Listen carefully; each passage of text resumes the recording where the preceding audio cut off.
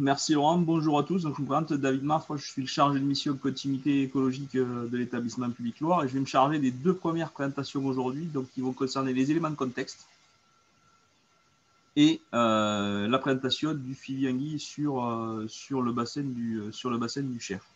Excuse-moi David de te j'ai juste oublié un rappel quand même d'une petite modalité, c'est que vous avez aussi la possibilité d'utiliser hein, le, le, module discussion chat et puis, j'ai des collègues, là, animateurs, donc Cécile, Jonathan et Julien, tout particulièrement, qui se chargeront bah, de, vous apporter, je dirais, des, éléments de réponse ou qui porteront ces messages-là donc, à tout le monde donc, lorsque les temps d'échange seront, proposés. Voilà, excuse-moi, David, pour ce petit aparté.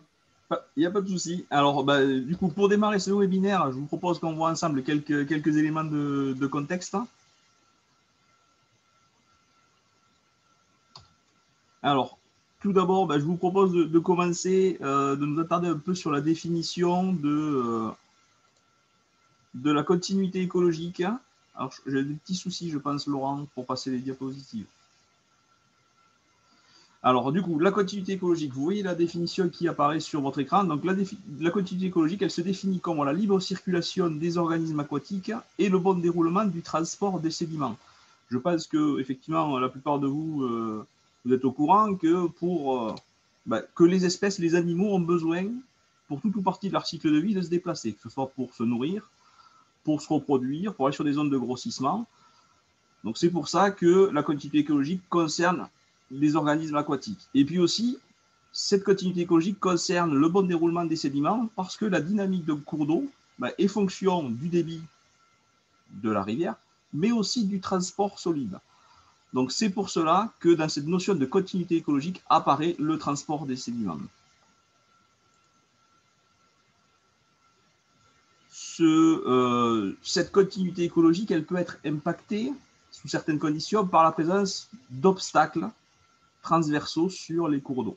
Ces obstacles-là peuvent avoir des effets sur les habitants en les modifiant, peuvent, comme vous avez pu le comprendre euh, au regard de mon intervention précédente, entraîner un blocage des organismes euh, durant leur phase de migration. Les ouvrages transversaux peuvent aussi perturber le, bon transport des sédiments, mais peuvent aussi avoir comme conséquence une altération de la qualité de l'eau en influant notamment sur le régime thermique, hein, en engendrant des augmentations de, température ou des concentrations de certains polluants. Et puis, euh, les ouvrages transversaux peuvent aussi impacter euh, le débit des rivières, soit par la dérivation d'une partie du débit, soit au travers des phénomènes d'évapotranspiration. Il faut toutefois être vigilant parce que euh, l'effet des ouvrages, hein, euh, donc là, ce qui vous a été présenté, c'est des, choses assez théoriques. Hein. L'effet d'un ouvrage va varier selon ses caractéristiques, sa gestion, le cours d'eau sur lequel il se trouve et même sa position sur le cours d'eau. Euh, et puis, un impact peut être faible lorsqu'il est tout seul, mais par contre, le cumul d'une succession de petits ouvrages peut engendrer des pressions relativement fortes. Et inversement, un ouvrage et un impact local, s'il est tout seul à l'échelle d'un axe, peut avoir des effets au final relativement faibles si on change d'échelle. Donc les actions et les réflexions doivent être menées à une échelle cohérente voilà, pour bien apprécier l'impact, l'effet des, euh, ouvrages. Alors, pour, pallier à ces, euh, pour pallier à ces effets, il existe aujourd'hui une palette de solutions techniques. Euh, il y a des solutions qui visent directement la libre circulation des poissons, hein, ça peut être la, création de passes à bassin, ce qu'on appelle aussi de, ou de rampes rustiques, hein, qui sont en fait des plats inclinés avec des blocs qui permettent aux poissons de franchir les ouvrages, ou la création de rivières de contournement. Vous allez en voir un exemple un petit peu plus tard dans ce, dans ce webinaire avec le, cas de, de Savonnière. On a ensuite des, solutions aussi qui, euh, que l'on peut trouver facilement au travers de la gestion des ouvrages mobiles. C'est le cas par exemple sur le, sur le avec les barrages à aiguilles qui sont ouverts en période de migration des poissons et en période hivernale pour assurer le transport des sédiments. Et enfin, il y a un dernier type de solution qui consiste à euh, modifier l'ouvrage par, soit par arasement, donc abaissement de l'ouvrage, soit par dérasement, c'est-à-dire suppression totale. Euh, le choix de toutes ces solutions-là euh, revient au propriétaire et ce sur la base d'une analyse technique. Quels sont les enjeux, quels sont les impacts, quels sont les usages et au-delà de l'analyse technique, il y a aussi une analyse économique. L'objectif est toujours dans ce travail-là de rechercher un équilibre entre euh, les enjeux écologiques et socio-économiques.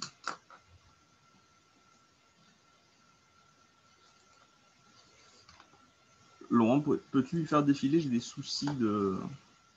Merci. Alors, maintenant que je vous ai présenté quelques éléments de contexte très, très généraux, je vous propose de, nous focaliser sur le, bassin du Cher. Euh, tout d'abord, ben voilà, un petit point sur la connaissance des obstacles sur le bassin. Aujourd'hui, on recense à peu près 2000 ouvrages transversaux sur, euh, sur le bassin versant du Cher.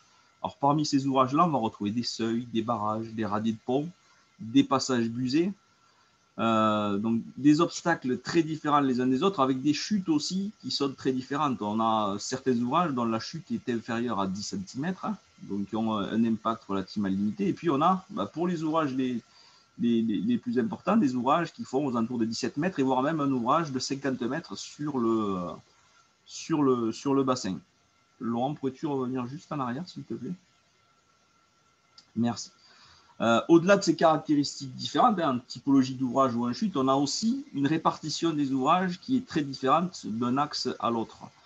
Euh, c'est le graphique qui vous est présenté ci-dessous qui présente en fait la distance moyenne entre les ouvrages, ce qui donne une idée de la densité. On constate que sur des bassins comme comme Laurent, on a une densité d'ouvrage relativement forte, hein, puisqu'on a un ouvrage en moyenne tous les 2 km. Et puis on a des cours d'eau comme le Fouzon, Lièvre ou l'Ardon, où là on a plutôt un ouvrage tous les 3 km, donc euh, un, maillage un peu moins dense en ouvrage. Et puis certains cours d'eau comme la Sondre ou le Cher, là, ont une distance inter-ouvrage beaucoup plus conséquente, de l'ordre de 5 km, voire 6 km, pour, euh, pour le Cher en aval de, de Rochebu les distances là, même si, on veut aller à des échelles plus, plus fines, hein, par exemple sur le Cher, peuvent monter à plus de 10 km entre les ouvrages. Donc on a réellement une disparité des, densités d'un cours d'eau à l'autre et on peut même en avoir au sein d'un seul euh, d'un cours d'eau.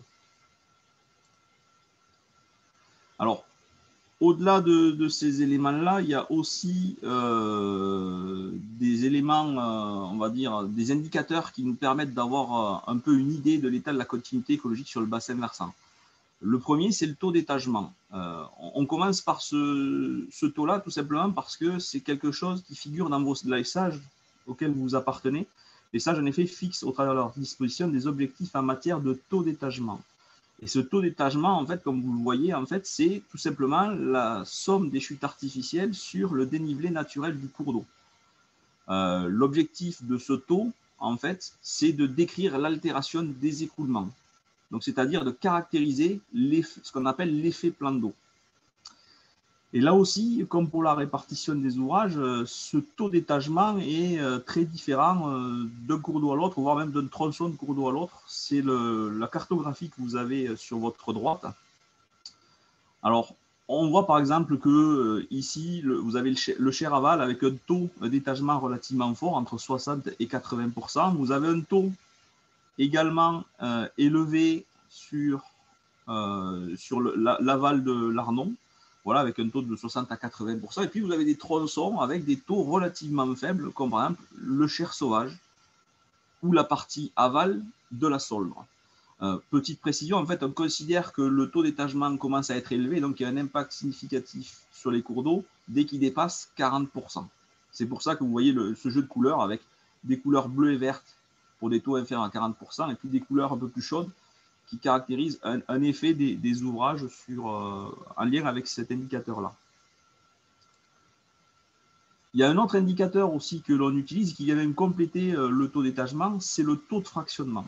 Donc ce taux de fractionnement, lui, euh, est en fait calculé grâce à la somme des chutes artificielles que l'on va diviser par le linéaire hydrographique, donc la longueur du cours d'eau. Euh, cet indicateur-là est vraiment un indicateur de pression des obstacles sur la continuité longitudinale du cours d'eau.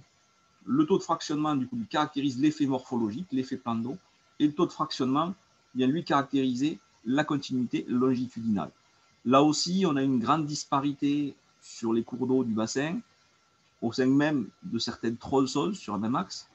Et ce qu'on peut noter, euh, un fait un peu, un peu intéressant, c'est que le Cher-Aval, vous voyez ici un taux de fractionnement relativement faible, il apparaît en vert, alors qu'on avait un taux d'étagement élevé. C'est là où le taux de fractionnement est intéressant, puisqu'on a un taux d'étagement élevé sur la partie aval, parce qu'on a de nombreux ouvrages qui créent des plans d'eau, mais ces ouvrages-là sur la partie aval sont ouverts en période de migration. donc n'impactent pas la continuité longitudinale piscicole. Et c'est pourquoi on a un taux de fractionnement qui peuvent être faibles. D'où l'intérêt voilà, de cumuler, d'analyser ces deux taux, étagement, fractionnement, en même temps. Donc aujourd'hui, tous les sages n'ont pas encore d'informations liées au taux de fractionnement, mais c'est quelque chose qui, euh, va être mis en avant dans le nouveau stage. Au-delà de ces, euh, indicateurs, euh, on va dire un peu basés sur des, statistiques, hein, on peut regarder aussi ce qui se passe sur, les espèces colonisent le cours d'eau, notamment sur les poissons grands migrateurs.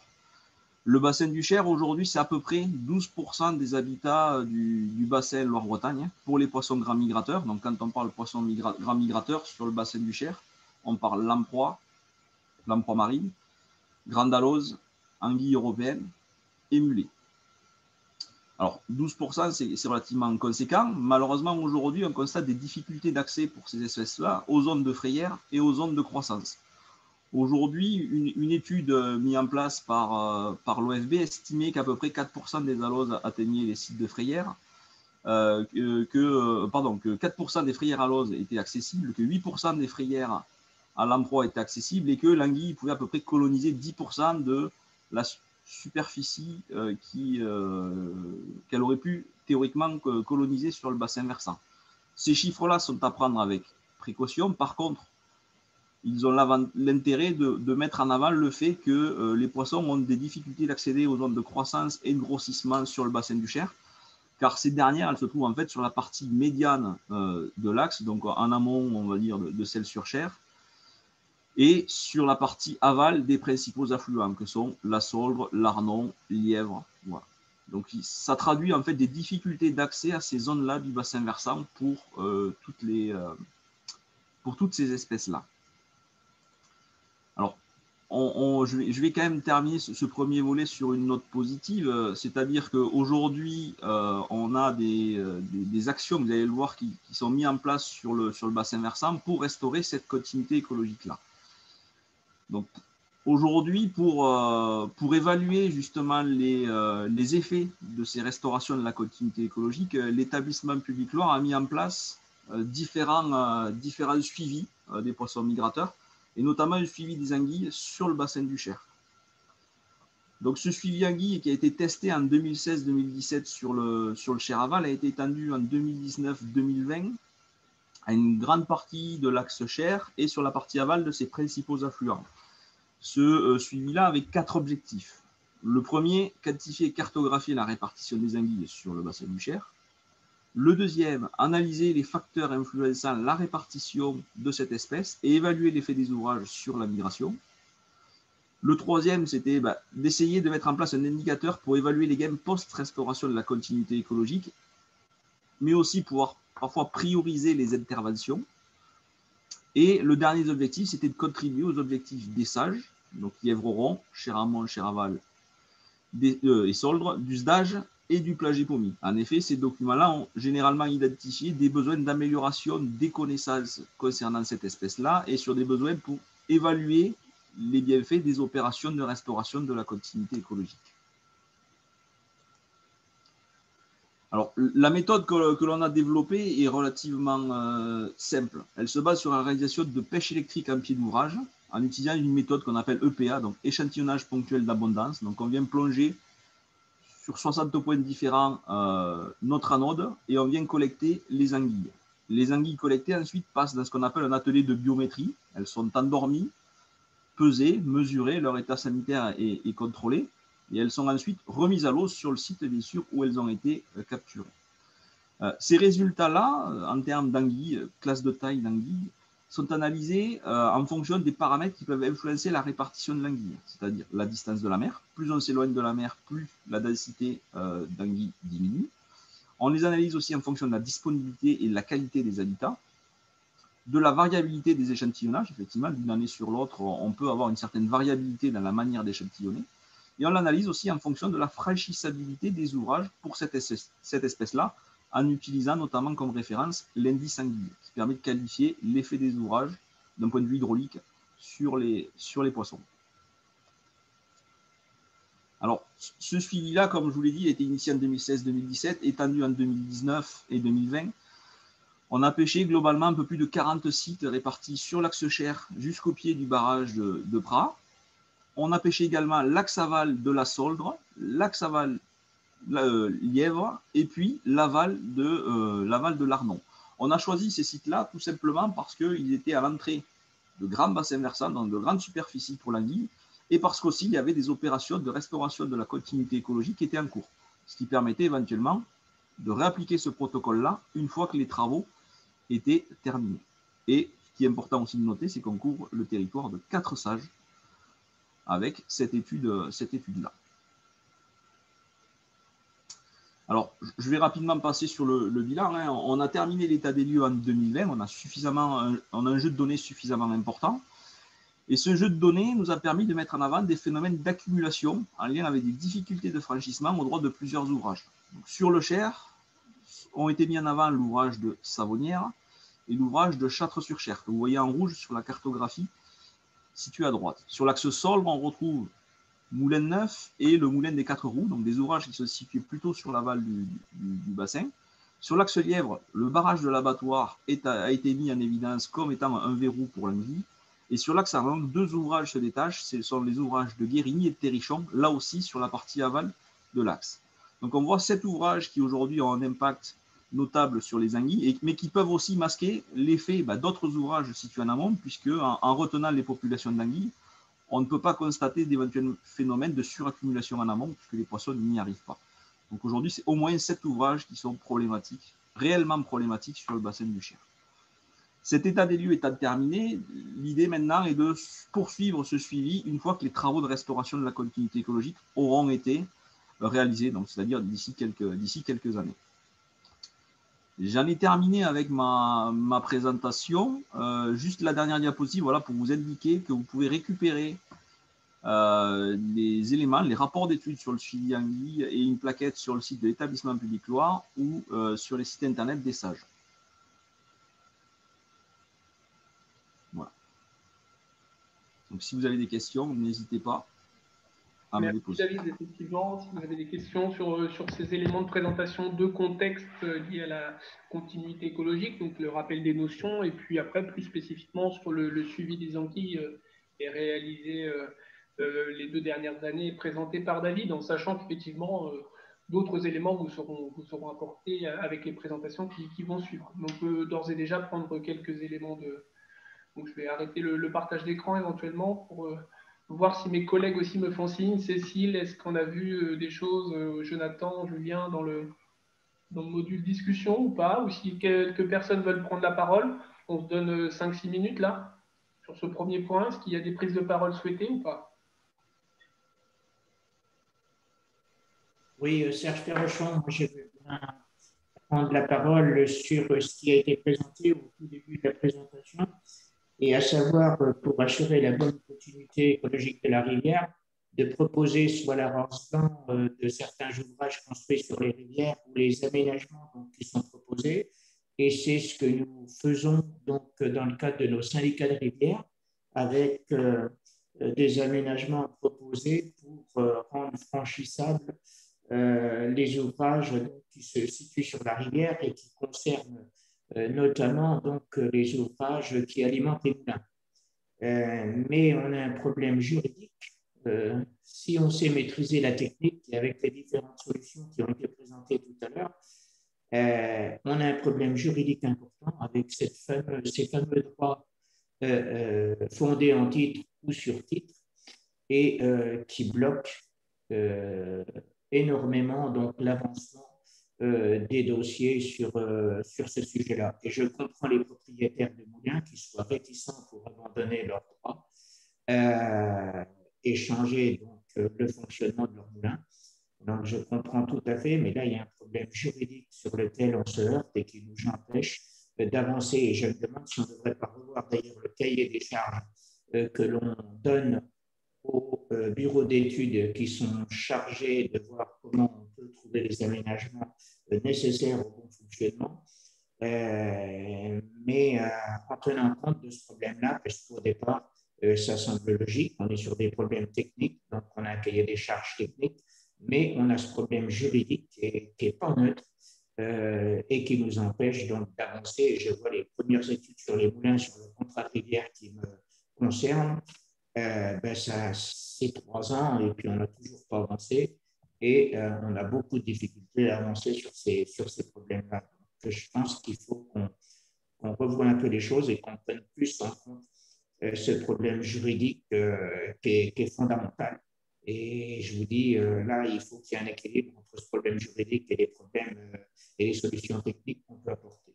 Donc voilà, c'est un débat d'une manière un peu générale, mais, mais qui est important.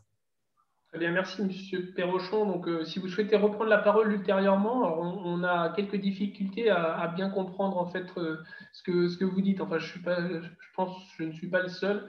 Mais, David apportera peut-être euh, déjà quelques premiers éléments parce qu'on a compris quand même quelle était la nature de votre intervention. Est-ce que David, tu as des éléments euh, à ce sujet-là ou pas? Ce qu'a dit M. Perrochon est, vrai, il y, a, deux choses. Il y a un aspect qui est purement technique, hein, donc là c'est le choix des, solutions. Et puis pour les syndicats de il y a, et même pour les propriétaires, il y a, l'aspect juridique hein, en fonction des, usages du cours d'eau, du statut, euh, du, des, statut des ouvrages et des, usages. Et aujourd'hui, effectivement, la, plus grande difficulté, elle est, presque, elle est presque effectivement juridique pour avoir un petit peu plus clair dans toutes les différentes réglementations et notamment voilà pour les, syndicats qui veulent, qui veulent, qui intervenir. Donc là, voilà, c'est, euh, je ne vais pas apporter plus d'éléments là-dessus parce que chaque cas, est, chaque cas est particulier, on va dire. Mais effectivement, aujourd'hui, la technique commence à être bien maîtrisée. Et le, le, plus compliqué pour pouvoir avancer, surtout dans un climat apaisé aujourd'hui, ce sont les questions juridiques. Donc il y a une vigilance à avoir sur, sur toutes les études qui, émergent en ce moment sur, sur cet aspect-là et peut-être avoir des compétences au sein des bureaux d'études sur, le volet, juridique pour accompagner les, structures à compétences linéaires. en tout cas, ce que j'ai relevé aussi dans ton intervention hein, euh, initiale, c'était aussi que c'était euh, euh, un travail qui devait absolument être mené avec les propriétaires des ouvrages, donc c'est selon aussi leur, volonté. Et, donc déjà, dans, un premier temps, effectivement, c'est quelque chose qu'il faut, appréhender, faire beaucoup de pédagogie et puis, et puis travailler en fonction effectivement de celles et ceux qui veulent bien travailler en ce sens dans un premier temps. Donc il y a l'aspect technique, mais il y a aussi effectivement toute, les, toute la sensibilisation. Et aujourd'hui, ce genre de webinaire sert aussi à ça, à expliquer qu'on est bien dans, un contexte où, comme vient de le dire David, on essaie d'avancer de façon à, mener une action qui soit la, plus apaisée possible pour atteindre des objectifs, mais tout en prenant en compte, je dirais bah, bien entendu, hein, le fait que ces ouvrages, pour certains, sont propriété euh, privée et, euh, donc il faut le considérer dans, nos réflexions. Est-ce qu'il y a euh, d'autres points où on passe à Jérémy avec l'intervention suivante? Qui va justement faire le, lien justement sur la manière dont les propriétaires peuvent être associés dans les marques de restauration de la continuité écologique. Et là, c'est l'exemple de Lièvre avec, avec Jérémy. Très bien. Jérémy, est-ce que je t'ai normalement donné la possibilité de partager ton écran? Est-ce que tu souhaites euh, ou je peux le faire si tu le veux? Alors, c'est écran partagé peut-être. Oui. Là, c'est bon? Ça va arriver, je suppose. Voilà, je pense que tu peux le mettre en, mode diaporama, puis ça sera bon pour nous. On devrait le voir de façon super. Normalement, c'est bon. Il est en diapo chez moi. C'est bon pour moi. Très bien, merci. Bon. Pour toi, Jérémy. Parfait, on y va. Euh, donc, bonjour à tous. Euh, donc, Jérémy Jolivet, l'animateur au syndicat d'Arrière. Euh, je vais vous présenter non pas une, quelque chose de très technique, mais voilà, plutôt tourner sur l'animation et toutes les études euh, qui mène ensuite à, de l'opérationnel. Euh, donc, ça sera plutôt tourné sur l'animation, voire le, de la sociologie presque. Euh, tout d'abord, le CIVI, donc nous sommes situés sur, bah, en plein cœur du, territoire, du périmètre de l'établissement. On est sur 1000 km de cours d'eau. On a été créé en 2013, donc on est assez récent dans le paysage local. Aujourd'hui, c'est trois agents techniques qui travaillent au syndicat. Notre siège est à Bourges. Euh, et donc, on gère la GMAPI comme, euh, la plupart des syndicats de rivière.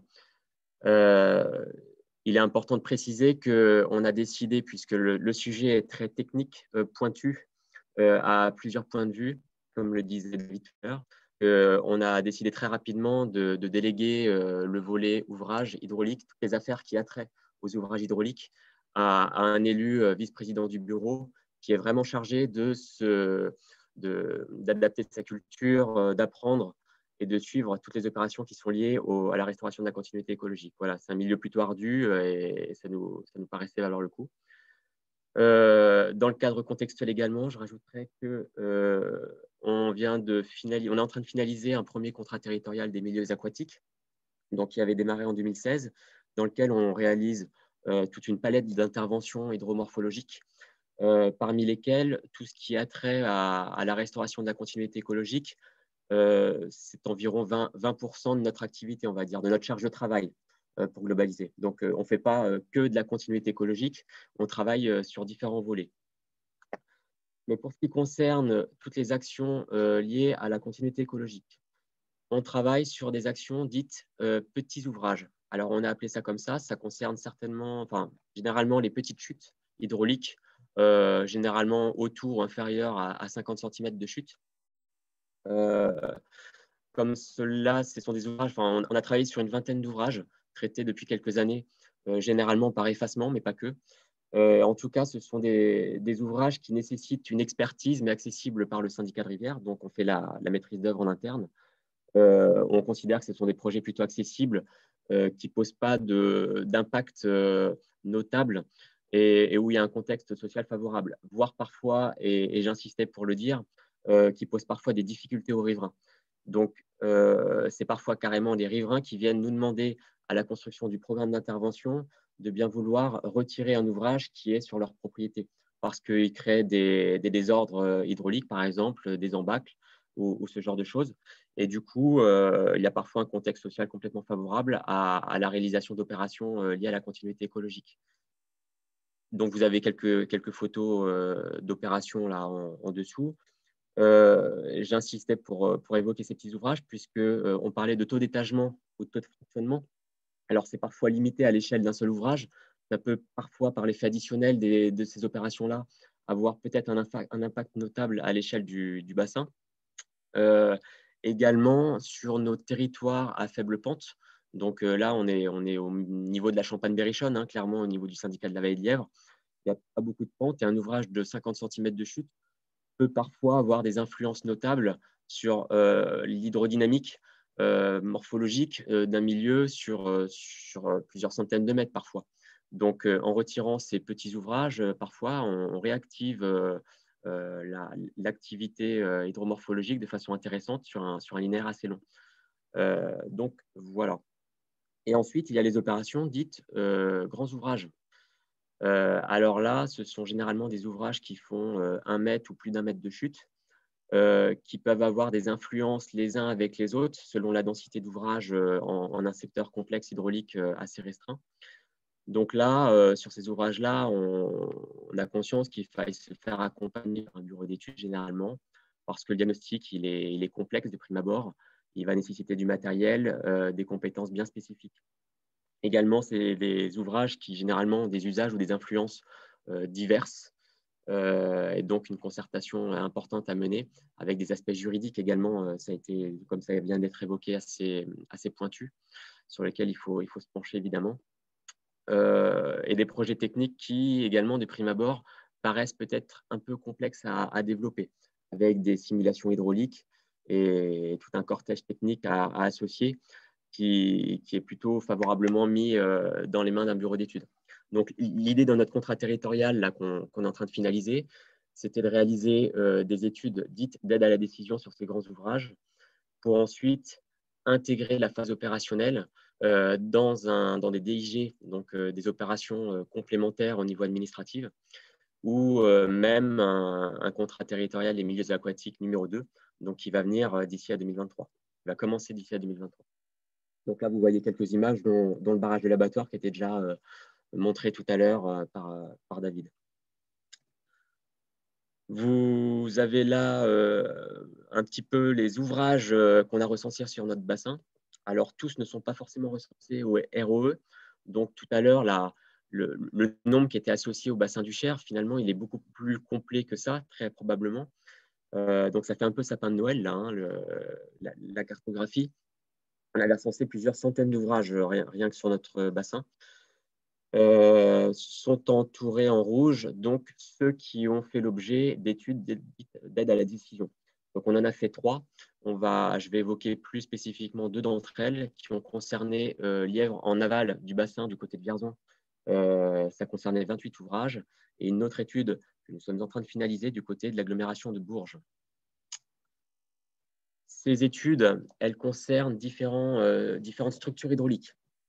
Alors, ça va de l'ouvrage très simple, au fil de l'eau, comme on dit, euh, un seuil tout simplement posé qui n'a pas vraiment d'influence ou d'usage euh, directement associé, mais qui peut avoir quand même des influences notables. Alors là, on voit, on voit le seuil au fil de l'eau avec une habitation située juste à proximité.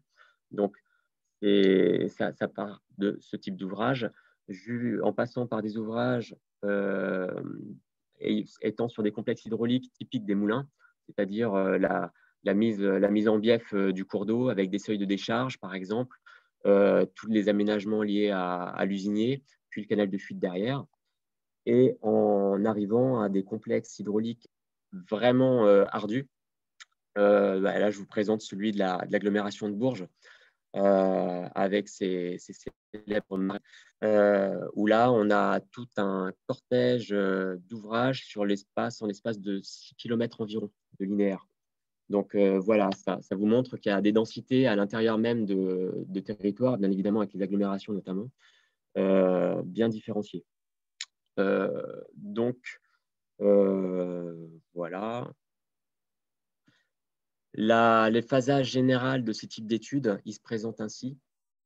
Alors d'une façon générale, on va toujours d'abord faire un état des lieux, déblayer un petit peu toute la bibliographie, toute la connaissance déjà connue autour des différents ouvrages.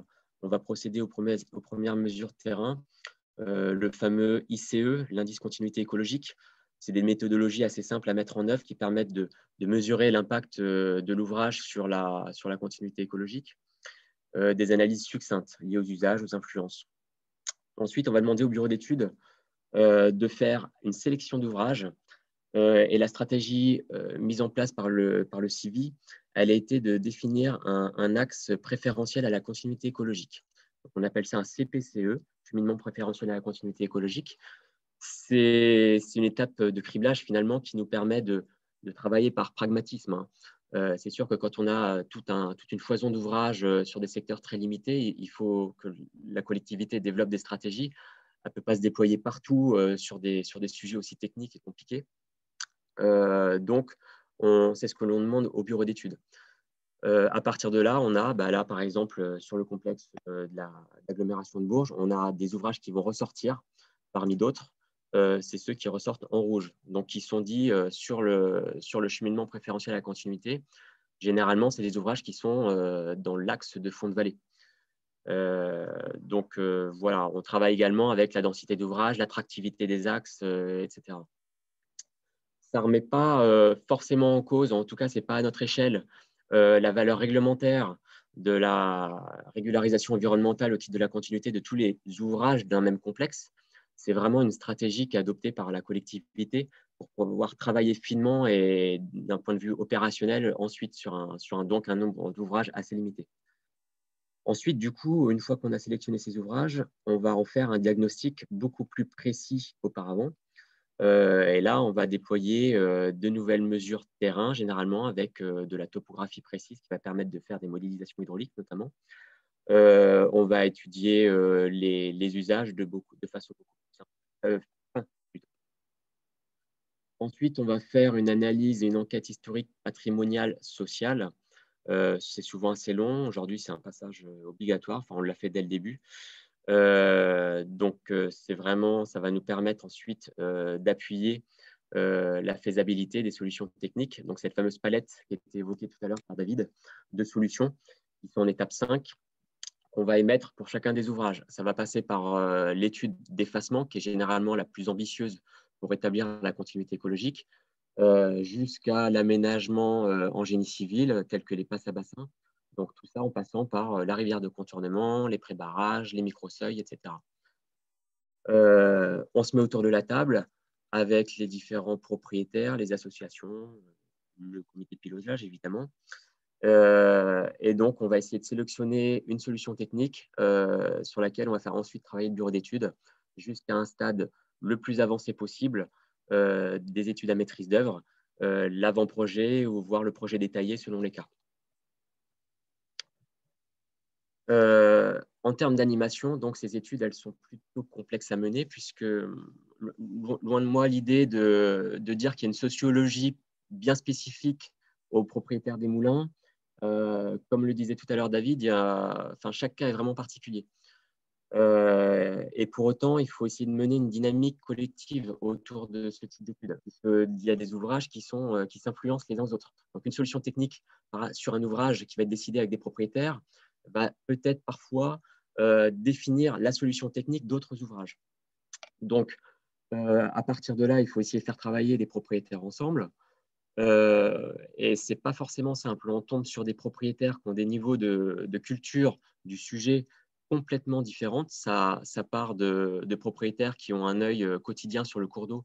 Je pense par exemple à M. Légeret que, j'ai vu tout à l'heure, qui, qui font de l'hydroélectricité. Donc, ils connaissent tout le, tout le contexte autour de la continuité écologique, jusqu'à des propriétaires riverains euh, à qui on apprend au moment où on leur propose de mener l'étude qui sont propriétaires d'un ouvrage. Donc là, on intervient un peu, on arrive comme un caillou dans la chaussure de certains propriétaires euh, à qui il faut euh, tout apprendre, entre guillemets. et, là, tout, tout, de suite, vous pouvez vous imaginer que le contexte social, il est différent. Pareil, il y a des, niveaux de richesse, de moyens complètement différents. Il faut vraiment adapter son langage à chacun des propriétaires avec des histoires complètement différentes et des patrimoines différents de, secteurs à d'autres. Donc, euh, parfois, on, peut penser qu'il y a un sentiment d'intrusion euh, par certains propriétaires et à, l'inverse, des fois, il y a beaucoup d'attentes pour certains d'entre eux. Euh, parfois, c'est les propriétaires, notamment, qui ont reçu des courriers de, mise en demeure ou d'information de, de, la part de l'administration pour bien vouloir rétablir la continuité écologique sur, leurs ouvrages. Il y a forcément des raisonnements d'ordre hydraulique complètement euh, différents d'un propriétaire à d'autres. Euh, c'est vrai que c'est un monde assez euh, paralogique, l'hydraulique, et plein d'a priori socialement. Donc c'est parfois difficile de déstructurer un petit peu tout ça sur des, logiques locales qui sont bien ancrées. Des attentes différentes vis-à-vis d'un même ouvrage, d'un voisin deux voisins qui se font face euh, au-delà d'un même ouvrage, ils vont avoir des attentes complètement différentes parfois. Et, forcément, la crainte d'une dégradation du patrimoine et des pertes de valeur qui sont euh, certainement très légitimes. Donc, il faut essayer de, dynamiser un petit peu tout ça et, de réfléchir bien en amont à ces études euh, sur les méthodes qu'on va, va élaborer pour, pour mener les, études à bien. La première étude qu'on a réalisée, ça s'est fait entre 2016 et 2018 sur les donc donc, d'une façon générale, euh, on demande à chaque fois, bien entendu, l'accord des propriétaires euh, pour démarrer l'étude. Et ça, c'est une généralité à chacune des interventions du syndicat, que ce soit les travaux des études. On n'interviendra jamais sans avoir l'accord au préalable des propriétaires conventionnés. On fait euh, généralement un point individuel autant que nécessaire avec chacun des propriétaires, donc on s'adapte à eux. on va procéder à des réunions, d'échanges, de présentations et de débats avec ces différents propriétaires par groupe ou sous-groupe et on va réunir un comité de pilotage euh, constitué de partenaires institutionnels, financiers évidemment et, techniques euh, pour valider chacune des étapes. Donc notre première étude, elle était assez complexe dans sa conception euh, juridique avec des tranches optionnelles. L'idée, c'était de montrer aux propriétaires que vraiment, justement par rapport à cet effet plutôt intrusif qu'on pouvait avoir, il pouvait mettre fin, entre guillemets, à, chacune, à l'étude, à chacune des étapes qui les concernaient. Euh, il, gardait la main, en quelque sorte, sur l'étude. Nous, de notre côté, ça ne nous servait à rien de continuer une étude si jamais euh, bah, il y avait une méfiance qui était trop importante et que les propriétaires ne voyaient pas du tout la logique à, nos interventions. À un moment donné, euh, seuls ces propriétaires-là restent responsables de la régularisation de ces ouvrages. Donc, à un moment donné, on, voilà, on pouvait euh, déguerpir, entre guillemets. Parfois, une mauvaise assimilation des acteurs du projet, donc une méconnaissance, et c'est quand même assez complexe de, faire comprendre qui sont les acteurs euh, du monde de la gestion de l'eau aux, propriétaires euh, sur, le terrain, et peut-être parfois un déséquilibre dans les prises de décision. Qui, qui fait quoi et qui valide quoi, c'est parfois pas facile à comprendre depuis le terrain. La, prestation numéro 2, euh, elle est en train d'aboutir, c'est sur Lièvre-Médan. Donc, on a pris pas mal d'expérience de la première étude pour enrichir la deuxième. le montage était beaucoup plus simple au niveau de la, prestation. Il faut savoir que nous, on a pris de l'expérience, on s'est aguerri au niveau formation notamment, et on on, s'est beaucoup formé aussi au contact du personnel de l'OFB ou d'établissements publics, de David par exemple. Et ça nous a permis de nous aguerrir. Donc, au cœur de cette étude, on a décidé de construire un cahier des charges pour fonctionner davantage en binôme avec le bureau d'études sur le terrain. Par exemple, l'axe préférentiel à la continuité, c'est nous, en régie, qui avons réfléchi au sujet. Et ensuite, euh, on s'est fait valider tout ce travail par le bureau d'études quand il a commencé sa prestation.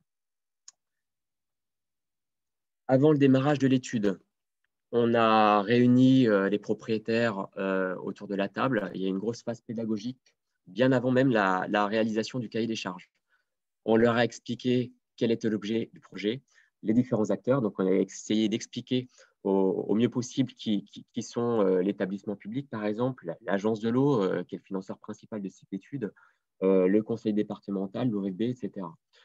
On a fait essayer de décloisonner certaines difficultés. On a essayé de faire vraiment d'être clair sur les décideurs finaux. On a constitué des comités de pilotage, donc ceux qui sont euh, bah, communs à ce type d'études que j'évoquais tout à l'heure, qui sont constitués par une quinzaine de personnes généralement. Un comité des riverains constitué euh, strictement des propriétaires et de quelques associations qui regroupent euh, les propriétaires. Je pense notamment aux Amis des Moulins et certaines associations, notamment des Marais de Bourges, par exemple, pour ce qui concerne cette étude-là. Donc, ça, concerne déjà quand même 45 personnes environ. Et ensuite, on a créé des commissions sectorisées. Donc là, ce sont généralement des, riverains, des, voisins qui sont plus ou moins indirectement influencés par un, ouvrage. Euh, dans les secteurs urbanisés, c'est typiquement les, réunions de quartier. Donc il y a une cinq commissions comme ça qui ont été créées. Donc ça, vous montre un peu déjà l'ampleur des, des personnes, des riverains qui peuvent être concernés par l'étude. On a proposé aux riverains de participer à la rédaction du cahier des charges. Donc on a fait une première mouture, évidemment. On leur a présenté et on leur a demandé d'enrichir ce type d'études. Euh, puis, on, a procédé à une phase de validation. Et ensuite, on a demandé au sein du comité des riverains d'identifier un témoin, euh, de, carrément passer par une phase de, vote, de décision d'un représentant. Donc, il s'est trouvé qu'il y a eu un titulaire et un suppléant qui, a été nommé, qui ont été nommés, qui allaient ensuite participer à chacune des commissions, comité de pilotage, comité des riverains et commission sectorisée. Donc, il se ferait un petit peu le témoin de toutes les discussions, euh, vraiment pour essayer d'acquérir de, la confiance. Et ensuite, au cours de l'étude, on a procédé à toutes nos, différentes réunions. Euh, surtout, j'évoquerai les réunions de commission des riverains qui étaient réunies systématiquement 10 à 15 jours environ avant chacun des comités de pilotage. Euh, les présentations faites étaient identiques entre les commissions des riverains et les commissions de, pilotage, euh, avec certainement quelques éléments plutôt vulgarisés euh, pour les riverains et peut-être un peu plus techno pour le, comité de pilotage, mais c'était vraiment quasiment très pour très la même chose. Et sous le contrôle du témoin, je devais faire relayer au sein du comité de pilotage chacune des remarques et des interrogations émises par les propriétaires. Euh, donc euh, voilà, et enfin, c'était le civil qui validait chacune des étapes. À noter également, c'est bien le syndicat qui anime chacune des réunions, que ce soit au sein des commissions de riverains et des commissions de pilotage. Les commissions de pilotage étant également associées le bureau d'études qui supervise, surtout sur des éléments vraiment techniques pointus.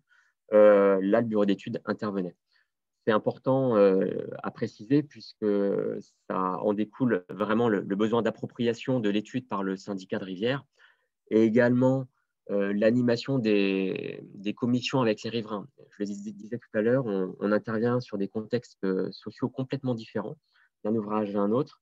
Et on a eu quelques mauvaises expériences avec des bureaux d'études qui n'arrivaient pas vraiment à adapter, c'est normal, leur discours euh, au sein des, commissions auparavant euh, devant de certains de, propriétaires les uns par rapport aux autres. Les bureaux d'études ont, une fâcheuse tendance, on, l'a vécu à plusieurs reprises en tout cas, à préparer leur, leur, réunion au dernier moment.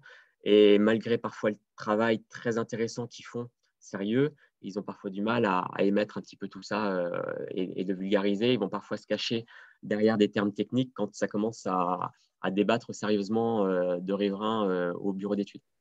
Donc voilà, c'était une, prise de décision qu'on a, faite, qu'on a prise au, syndicat de fonctionner ainsi. Et après chacune des phases, on mettait à disposition, on a créé une page Internet spécifique à l'étude où on mettait,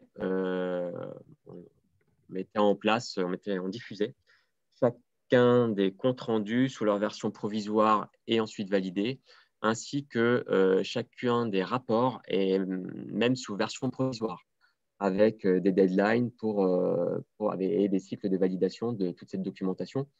les propriétaires étaient avertis par courrier, on les invitait à aller voir la documentation provisoire qui était entendue avec le bureau d'études et de nous en faire un retour pour enrichir cette documentation quelques éléments à ressortir de, en bilan de, ces opérations d'études d'aide à la décision. Donc, il nous a, euh, enfin, il y a beaucoup d'éléments à ressortir, mais j'en ai ressorti trois, d'entre eux. L'importance de la valorisation des discussions entre les acteurs du comité de pilotage. C'est quelque chose qui m'a plutôt surpris euh, sur le terrain. C'est-à-dire que généralement, euh, sur le terrain, ils ont l'impression qu'il y, a bien un comité de pilotage. Alors souvent, ils n'arrivent pas trop à savoir qui fait quoi euh, au sein de ce comité de pilotage, mais ils ont vraiment l'impression qu'on travaille tous d'un bloc euh, envers et contre tout pour l'effacement des ouvrages et que finalement ils mettent de côté tous les usages, les besoins des propriétaires et finalement euh, les témoins ont pu témoigner bah, qu'il y avait vraiment de la discussion d'ordre technique et que les sujets étaient traités de façon sérieuse au sein du comité de pilotage sensation de confiance plutôt accrue euh, entre la deuxième étude par rapport à la première. Euh, alors, il y a plein d'éléments à mettre euh, dans, dans la boucle, hein. certainement aussi une légitimité accrue du syndicat avec une présence à, ce moment-là plus importante dans le temps du syndicat. Donc voilà, et, ça n'empêchait pas pour autant, et encore aujourd'hui, des débats quant aux décisions qui ont été prises.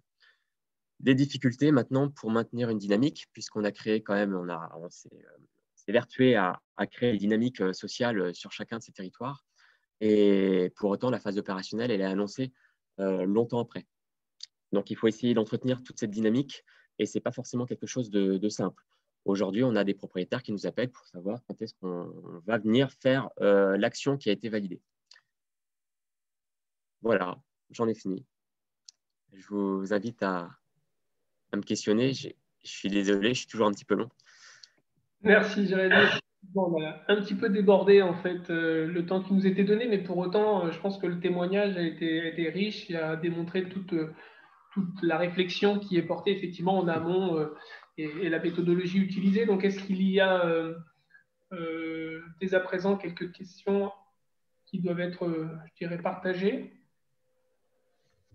Oui, Laurent, simplement, le, rôle des élus dans, dans tout ce que nous a développé Jérémy. Présent, pas présent, participatif, euh, voilà. Alors oui, effectivement, euh, c'est vrai que j'en ai pas beaucoup parlé des élus. Euh, alors il y a ce fameux élu qui pilote un petit peu tout ça, qui est notre délégué vice-président au bureau. Le président, il est assez actif, M. Gilles Benoît, qui est assez actif au syndicat, qui participe à chacune des commissions. Et, ensuite, on demandait, on a des relais locaux. chacune des communes, des municipalités sont représentées au sein des commissions des, riverains. Euh, était convié également au sein des comités de pilotage. Euh, donc voilà. Après, euh, c'est vrai que par exemple, notre deuxième étude, elle est arrivée au moment entre les élections, au moment des, élections là, des municipales dernièrement. Donc il y a parfois eu des petites cassures. Et là, on, reprend un petit peu l'appropriation et l'éducation, entre guillemets, des nouveaux élus dans les, par rapport aux études qui viennent, d'être faites. Les, élus ont vraiment eu un rôle important au sein des commissions.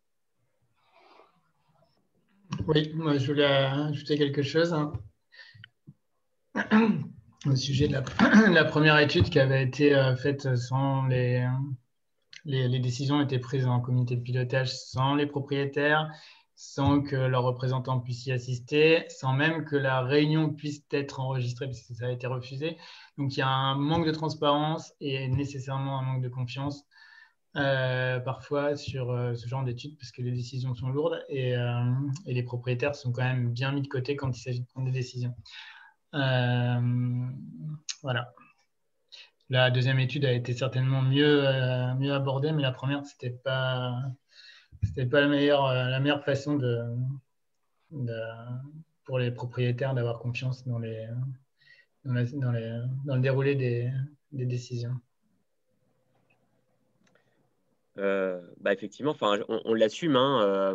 Non, non, mais bien sûr, je, mais je soutiens, je, enfin, souligne parce que bon, les propriétaires ont des droits qui sont bien oubliés la plupart du temps et qui ne sont pas pris en compte. Et euh, les décisions sont prises sans les propriétaires et même dans le dos des propriétaires bien souvent. Donc, c'est pas normal et ça, c'est un point qu'il faudrait revoir quand même.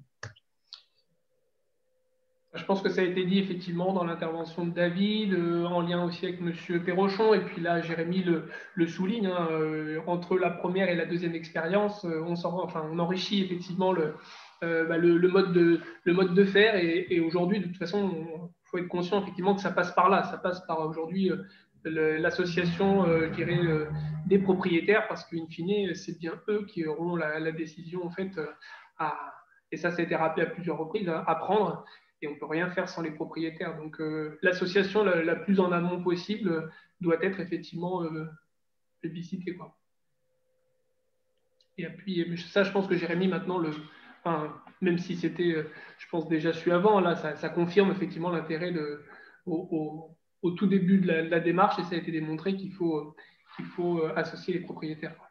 Alors, ce n'est pas, pas vis-à-vis de Jérémy, hein, c'est en général. Hein, sur tout le bassin, c'est comme ça. En fait, le problème, c'est ça c'est que c'est bien souvent comme ça partout sur tout le bassin. C'est pas lié au, Cheraval, euh, à Lièvre-Aval euh, ou à un autre tronçon de rivière. C'est systématique.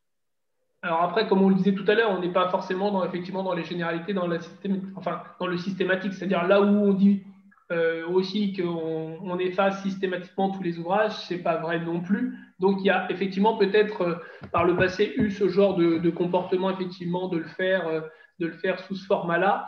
Et je pense qu'on va, euh, surtout dans le respect de cette politique apaisée souhaitée, euh, de plus en plus vers cette intégration et association euh, de toutes les parties prenantes. Et, ça va dans le bon sens, même si par le passé, effectivement, ça n'a peut-être pas été assez, assez fait comme, comme vous l'évoquiez. Enfin, en tout cas, il y a des, des lois à respecter et c'est très bien que tout le monde les respecte, y compris l'administration.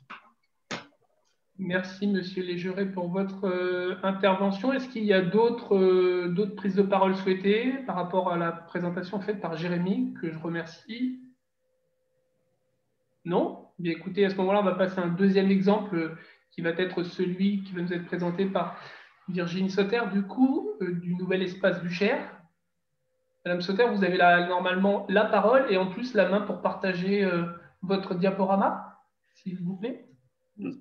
Bonjour à tous. Euh, alors, le partage.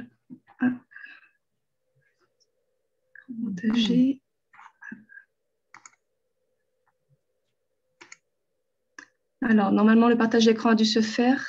Euh, j'espère que vous le voyez tous. Très bien, vous pouvez mettre euh, en affichage plein écran si vous le souhaitez. Affichage plein écran, ça devrait donner encore un petit peu plus de visibilité. Voilà. Euh, donc bonjour à tous. Euh, je vais garder le masque pendant la présentation vu qu'on est voilà, plusieurs dans la salle. Donc euh, voilà, je vais vous présenter donc, le nouvel espace du Cher donc, et les opérations de restauration de la continuité qui sont menées. Donc peut-être d'abord tout, voilà, peut-être en premier lieu rappeler le, le, territoire donc, de notre syndicat. On est donc tout à l'aval euh, du Cher. Euh, on inclut donc, on est sur deux départements, l'Indre-et-Loire et le Loir-et-Cher. Euh, on a un territoire relativement important puisqu'on a près de 480 km de cours d'eau. On... Donc, on s'occupe du Cher, mais également de tous les affluents. Et mine de rien, ça fait, voilà, ça fait un linéaire assez conséquent à, à, gérer. On est un syndicat qui est assez récent. on a été créé au 1er janvier 2018. Donc, euh, suite à la dissolution de six euh, syndicats de rivière sur notre territoire, donc il y avait cinq euh, syndicats de rivière sur les affluents et un syndicat sur le Cher, donc sur la partie canalisée. on a récupéré donc la compétence GEMA, donc pas le côté PI, pas le côté prévention des inondations, seulement le côté gestion des milieux aquatiques et également une partie donc compétences optionnelles pour tout ce qui est le tourisme fluvial. On a lancé une démarche donc, en 2019 et qui s'est terminée début 2020 euh, pour l'élaboration d'un contrat territorial. Donc, je vous rappelle que les nouveaux contrats territoriaux maintenant ne sont plus sur cinq années, mais sur deux fois trois ans. Donc, nous, on est parti sur un contrat territorial de 2020 à 2022. Euh, c'est un contrat territorial qui, euh, qui, est très marqué par la continuité écologique, vu qu'on intègre toutes les opérations qui vont avoir lieu sur le Cher. Donc, on arrive au final à, voilà, vous le voyez en termes de montant, à un contrat territorial qui est à 2,4 millions d'euros pour les trois premières années, avec près de 90% de ce montant qui est lié uniquement à la continuité écologique du Cher. Donc, l'année 2020 est la première année du contrat territorial. Euh, Savonnière fait partie de la première opération qui a été menée sur l'axe Cher, en tout cas par le syndicat du NEC. Donc là, vous voyez sur la cartographie euh, les actions que l'on va mener dans ces trois premières années. Donc, au niveau des affluents, c'est des territoires qui sont méconnus à ce jour. Euh, même le syndicat du NEC y est assez peu présent jusqu'à présent et assez peu connu. Donc, on va avoir beaucoup de travail à faire sur ces affluents déjà d'un premier temps pour se faire connaître, donner des conseils, euh, notamment aux riverains, et ensuite lancer des études, euh, des diagnostics pour mieux connaître ce territoire et les actions du coup à réaliser. Après, sur le Cher, on, voilà, on a la chance d'avoir du coup l'étude euh, qui a été portée par l'établissement public Loire de 2015 à 2018 sur tout ce qui est la restauration de la continuité écologique. Euh, donc, toute cette étude a été menée en, concertation donc, avec les services de l'État, les financeurs, euh, les communes, les propriétaires d'ouvrages. Et euh, l'ensemble des projets qui ont été élaborés à la fin de cette étude ont été transmis au NEC fin 2018. Donc là, je parle voilà, des, opérations qui, qui, auront lieu sur les ouvrages de Savonnières, de Grand Moulin à Ballon-Miré, sur l'ouvrage de Saint-Aignan dans le 41 et également sur euh, l'aménagement d'écluses euh, dans le 41 et sur les radiers de deux barrages, l'Arcé et Roujoux dans l'Indre-et-Loire. Donc, comme vous voyez sur le diaporama, on, on est sur des montants assez, importants sur ces trois ans, donc 2,3 millions. Euh, le contrat territorial a été lancé et on avait pu avoir du coup au début de l'année 2020 un avis favorable de la clé du SAGE sur l'ensemble de ce programme d'action. Donc, si on va à Savonnière, c'est la présentation qui va nous intéresser aujourd'hui. Euh, le site de Savonnière, donc on est sur un ouvrage qui appartient à la commune et qui est géré par la commune. Il y a euh, d'un côté une passe à bateau et de l'autre côté un dispositif pour la migration des poissons, mais qui était ancien, qui était construit dans les années 90 et qui n'était pas jugé satisfaisant pour euh, les espèces migratrices. Euh, les espèces migratrices dont on parle, c'est celles qui ont été listées pour le Cher, donc l'anguille, la grande alose, la lamproie marine, donc qui sont les principaux migrateurs, et également d'autres espèces telles que le brochet, le barbeau, le hautu, la vandoise et le spirlin. Euh, sur le Cher, vous le savez, on est sur liste 2, donc une obligation d'aménagement de la continuité écologique. Savonnière est le premier ouvrage sur le Cher quand on le remonte. Donc, euh, il y a vraiment un, enjeu important sur ce site-là. Et comme on l'a vu dans l'étude euh, sur les anguilles, euh, sur le suivi des anguilles, on, voilà, on fait partie des, voilà, d'un ouvrage qui, qui, a été défini comme problématique et sur lequel il faut, agir. donc, le projet qui a été mené à Savonnière a été piloté donc, par l'établissement public Loire. On a récupéré ce projet au niveau du syndicat Nouvel Espace du Cher et on est du coup maintenant en maîtrise d'ouvrage et on a lancé les travaux cette année. Euh, bon, voilà, un peu, un peu de répétition. Comme je vous ai dit, donc, plusieurs acteurs ont été associés à cette étude. Euh, donc, la commune, Tour Métropole, euh, les services de l'État, donc avec la DDT, l'Office français pour la biodiversité, tout ce qui est également donc, les affaires culturelles, tout ce qui est le côté archéologie également qui a été très très associés dans cette étude, et également donc, les financeurs des projets. Euh, on n'en a pas parlé, mais c'est vrai que le projet est financé par l'Agence de l'eau, la région Centre-Val de Loire et les départements 37 et 41. Bien sûr, à Savonnière, c'est uniquement le département 37 qui est concerné. Euh, donc cette étude a démarré en 2015. En 2016, donc, trois premières solutions ont été proposées pour l'aménagement de ce site.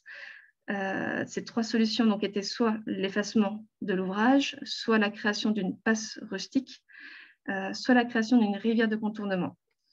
Donc, il y a eu voilà, plusieurs discussions sur les avantages et inconvénients de chacune de ces solutions.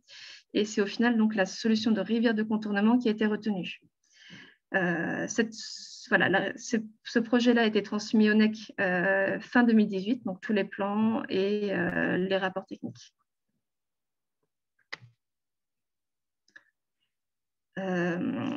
Alors, c'est vrai que donc, tout ce qui est les enjeux locaux ont été intégrés dans ce projet-là. Euh, la particularité du site de Savonnières, c'est que là où est implanté le projet, c'est-à-dire en rive droite du barrage, on a un terrain communal euh, qui est relativement vaste, donc qui a permis justement de, euh, mettre en place le projet de rivière de contournement. Il y a également donc une mare qui était présente, donc le projet a cherché à éviter voilà, de détruire cette mare, donc on, a pu réussir à se caler entre la mare et le Cher.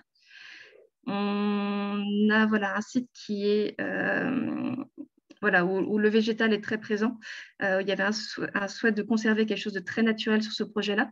Donc, euh, on reste sur soit des aspects périmaçonnés, soit des, soit voilà, soit des, soit de l'ensemencement, de la végétalisation des talus. Donc, on, a essayé vraiment de conserver euh, quelque chose de très naturel dans le, visuel du Cher et de Savonnière. Et donc, la dernière adaptation donc, au niveau local qui a été faite pour ce projet, c'est qu'il y a donc une association de batellerie euh, juste en amont du barrage. Et donc, le projet a été mené pour à la fois permettre donc, aux poissons migrateurs de remonter, mais également euh, de permettre le passage des bateaux euh, dans cette rivière de contournement.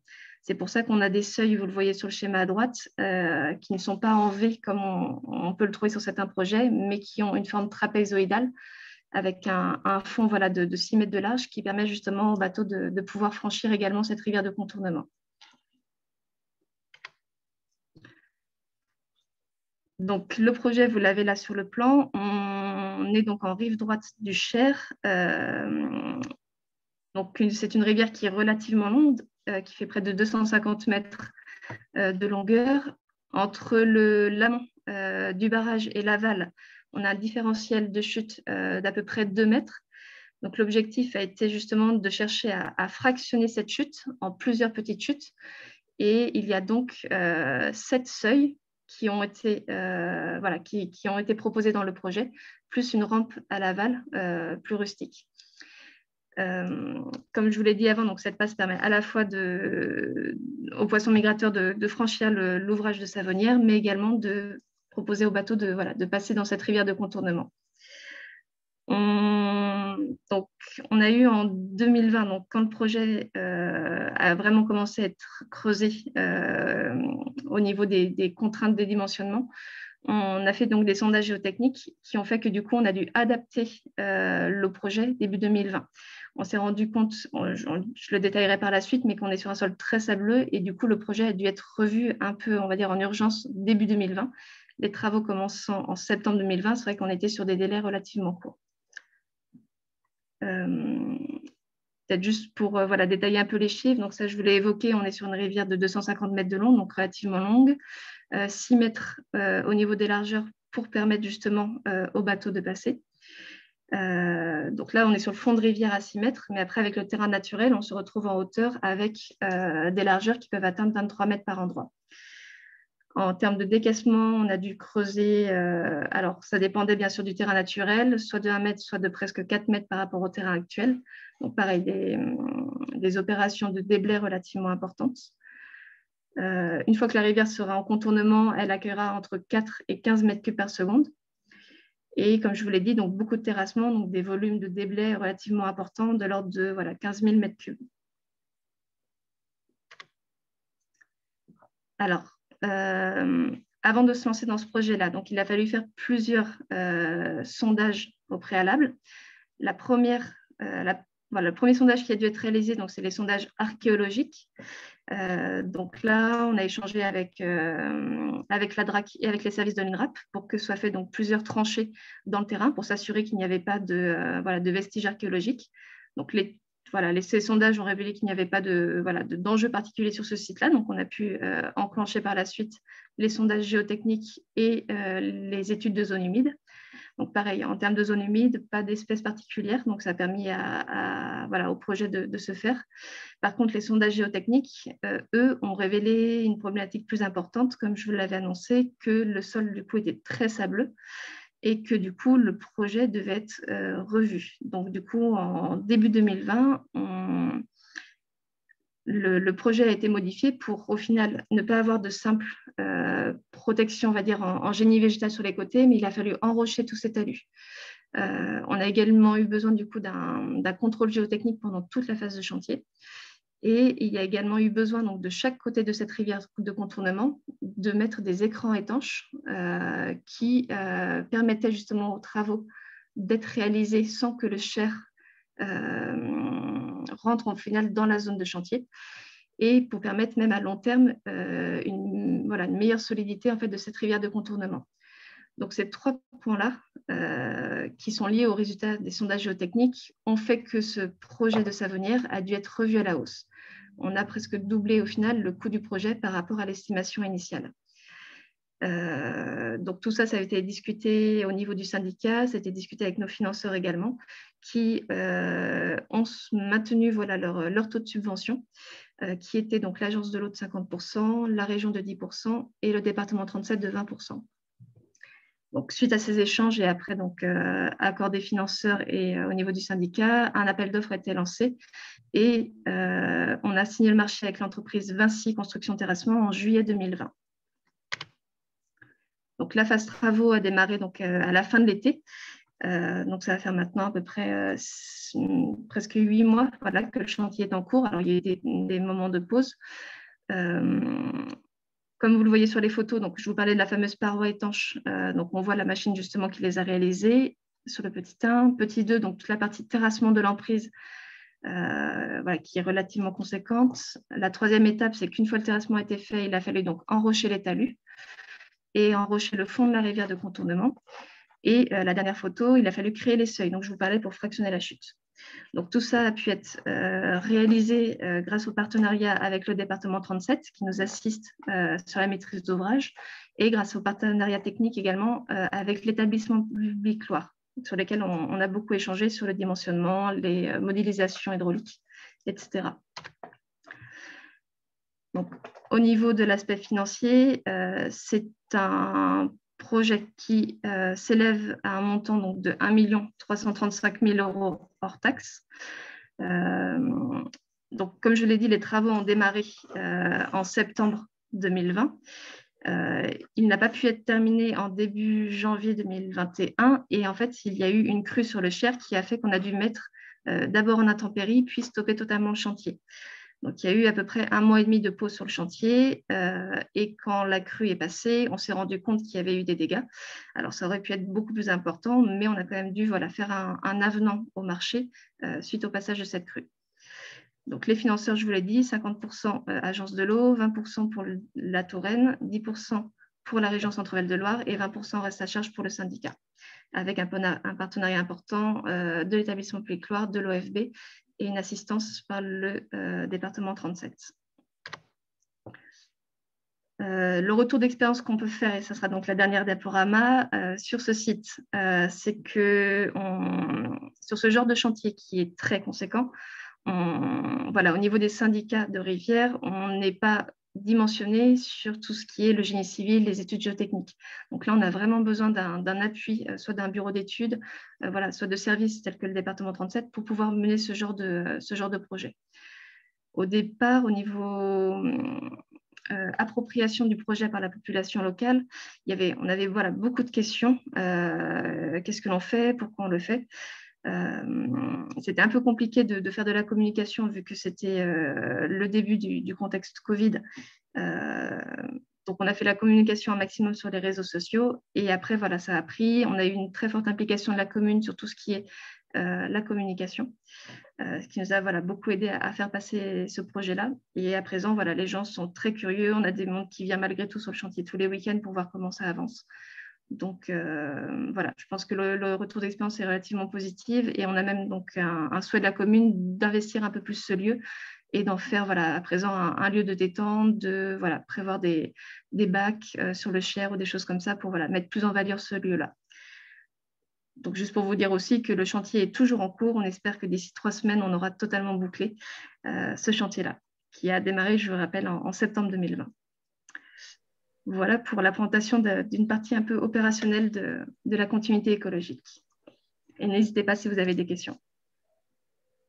Merci beaucoup pour cette présentation. En effet, comme le disait tout à l'heure Jérémy, on a les petits ouvrages et des grands ouvrages. Là, on est typiquement dans, l'aménagement, effectivement, qui est, relativement important, qui fait suite aussi, il y avait déjà une première expérience riche, qui était celle de la, de la rivière de contournement de Civray, donc euh, menée ici il y a quelques années. Donc, euh, donc voilà, on voit aussi le temps long hein, qui a été évoqué tout à l'heure aussi par Jérémy, entre le début d'une étude et le côté opérationnel quelques, quelques années plus tard. Donc c'est vrai que la mobilisation est nécessaire. Euh, donc sur un temps long. Donc ça, c'est un autre enseignement que l'on peut, peut avoir avec cette présentation. Est-ce qu'il y a des interrogations J'ai vu que M. Vendreau s'était exprimé dans le, dans le module discussion. Après, est-ce qu'il y a des prises de parole souhaitées pour des compléments d'information? Ou alors Mme Bisson, peut-être, qui est directement concernée par le territoire, qui peut nous faire un petit témoignage début euh, alors, c'est vrai que les débuts ont été un peu euh, difficiles parce que, euh, avec la crise sanitaire, nous avions prévu, nous, de faire des réunions publiques pour expliquer ce qui allait être fait et ça n'a pas pu avoir lieu. Donc, effectivement, sur les réseaux, les gens s'enflamment très rapidement et ce n'est pas facile de, de, gérer. comme le disait Virginie, la commune a essayé de communiquer à chaque fois que c'était possible euh, notamment sur euh, les ouvrages qu'elle fait paraître régulièrement tous les trimestres. Nous avons des, petits ouvrages qui sont distribués aux saponariens où euh, on donnait la parole à Virginie pour qu'elle puisse expliquer un peu les travaux qui étaient en cours, l'avancement des travaux. voilà. Il y a une forte demande des saponariens pour savoir quand est-ce qu'on va ouvrir Virginie pour qu'ils puissent regarder l'eau s'écouler par le bras de la rivière de contournement. Voilà. Ça va plus tarder, ça va plus tarder. Je m'attends avec impatience aussi. Oui. Donc on voit effectivement qu'au-delà de, au-delà des propriétaires, ça intéresse surtout ce, type de projet, hein, ça intéresse aussi euh, bon nombre de, de, personnes, du grand public. Hein. donc, euh, donc là, c'est, très important effectivement euh, tout ce qui est action de communication en lien, en lien direct avec, avec ce type d'action. Mais je pense que la communication, M. Pallas en est on est, je dirais, euh, un représentant, il va pouvoir nous faire état, euh, s'il n'y a pas d'autres questions, euh, de la façon dont...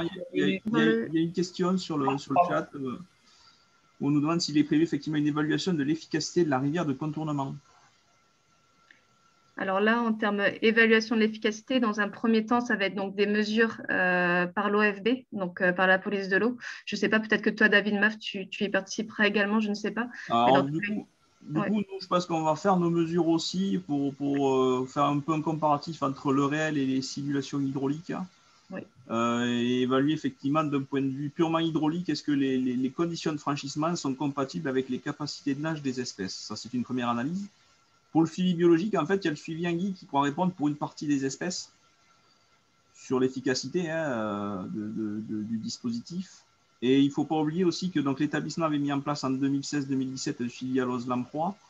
Euh, le suivi lamproie aujourd'hui est repris par l'association Loire Grand Migrateur, qui, suit en fait le front de colonisation de, cette espèce-là, qui aujourd'hui en général s'arrête au pied du barrage de Savonnière. Donc euh, bah, les futurs suivis aussi de l'ogramie concernant la lamproie permettront de voir s'il y a une amélioration, si on retrouve des lamproies plus en amont sur le, bah, au moins jusqu'au pied du barrage euh, situé au-dessus à Grand Moulin, ça voudra dire que la, la passe à poisson aussi joue son rôle. Euh, je, voulais intervenir euh, pour deux remarques. Euh, bah, ce qui vient d'être dit là à l'instant par, David et, la question qui était posée avant, c'est vrai que c'est une vraie difficulté qu'on a vis-à-vis des propriétaires riverains qui veulent avoir la certitude que ça va fonctionner ensuite de la façon dont c'est prévu dans la théorie et n'ont pas forcément conscience que ce n'est pas de la robinetterie et que le milieu il va se réajuster, il est dynamique et, et justement il faut procéder ensuite par, à un suivi va déterminer si ce que l'on a fait fonctionne ou pas. Et ça, le prévoir à l'avance, c'est vraiment compliqué à, tenir euh, le, un discours de, sur le terrain parce que euh, quand les, riverains, alors là on est sur le Cher, mais quand on est sur des petits cours d'eau privés, euh, bah là on évoque des montants qui sont souvent importants vis-à-vis du propriétaire. Et quand ils nous demandent, mais vous avez la certitude que ça va fonctionner votre truc hein? Bah, on lui dit oui, dans la théorie, ça va fonctionner. Après, on va voir comment ça va, ça va se dérouler dans la réalité. Ma deuxième remarque, c'est la problématique que vous avez rencontrée là sur les sondages géotechniques. Mm. Et c'est une tendance qu'on trouve pas systématiquement, mais très régulièrement, d'avoir un prévisionnel financier pour les travaux liés à la continuité, mais c'est valable aussi pour des travaux morphologiques dès lors qu'il y a du déblai, du remblai. d'avoir des mauvaises surprises, puisque le prévisionnel financier ben, est une part importante de l'axe de décisionnel de, du scénario. Et pour autant, on procède à des sondages préalables juste avant les travaux et on a souvent des surprises. Et ça, c'est vrai qu'il faut qu'on essaye de travailler là-dessus pour intégrer peut-être des sondages à nos études préalables qui peuvent ensuite orienter clairement la décision des scénarios. Et l'archéologie, c'est un peu pareil. Après, pour les sondages euh, géotechniques, c'est vrai que du coup, euh, ils ont été faits sur Savonnière et on s'est rendu compte de voilà, de l'impact que ça a eu sur le, sur le projet, donc sa modification. Et très rapidement, et aussi à la, à la, demande de nos financeurs, on a fait réaliser du coup les sondages géotechniques sur les deux autres gros sites que l'on devait réaliser, donc à Saint-Aignan et à Ballon. Et c'est vrai que si on peut les intégrer dès le début dans les, dans les études, c'est euh, que du plus. C'est que du plus. Très bien, ben, merci. Donc là, on vient effectivement de voir un projet donc, qui visait l'aménagement effectivement avec une rivière de contournement. Et on va maintenant laisser euh, Monsieur Pallas nous présenter le, projet qui s'est euh, réalisé il y a quelques années déjà maintenant sur euh, la commune de Saint-Georges, plus particulièrement sur Arnoux. Je partage le. Oui. Monsieur Pallas, je, s'il vous plaît. Oui. C'est bon, tout le monde.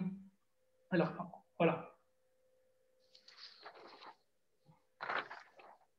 Allez-y, j'essaie de me coller sur votre, sur votre propos. Voilà, ben le, deuxième, voilà, le deuxième slide, s'il vous plaît. Voilà, très bien. Écoutez, bon, bonjour à tous. Hein. Bon, c'est un retour d'expérience, effectivement, qui s'est passé à Saint-Jean-sur-Arnon. Je ne reviens pas sur les trois, enfin, en tout cas, les trois, principes, les trois précédentes interventions. Donc, on bien, euh, on bien récapitulé sur le comment faire, les difficultés, les avantages, etc. Et on est, on est effectivement passé donc, par ce biais-là. Voilà, donc je, confirme les quelques difficultés et puis euh, également les, les, bons souvenirs. Donc voilà, à Saint-Jean-sur-Arnon, donc on a eu l'effacement total de l'ouvrage de Roussy. Alors, quand je dis l'effacement total, c'est qu'on avait la barrière, pardon, la rivière qui avait été mise avec des planches, je ne sais pas si vous vous rendez compte, complètement. Il n'y avait aucun écoulement donc, de l'eau.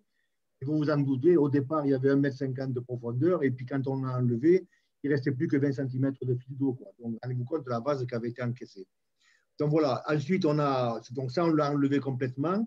Et puis le deuxième, c'était donc l'effacement partiel donc du seuil du moulin, du moulin. Donc on avait un barrage avec deux clapets et puis euh, une échancrure. Alors, on l'a enlevé. On a fait une échancrure dans le, dans le radier. Voilà ce qu'on a fait. Alors les, questions, on, a été confronté à cela, mais vraiment énorme.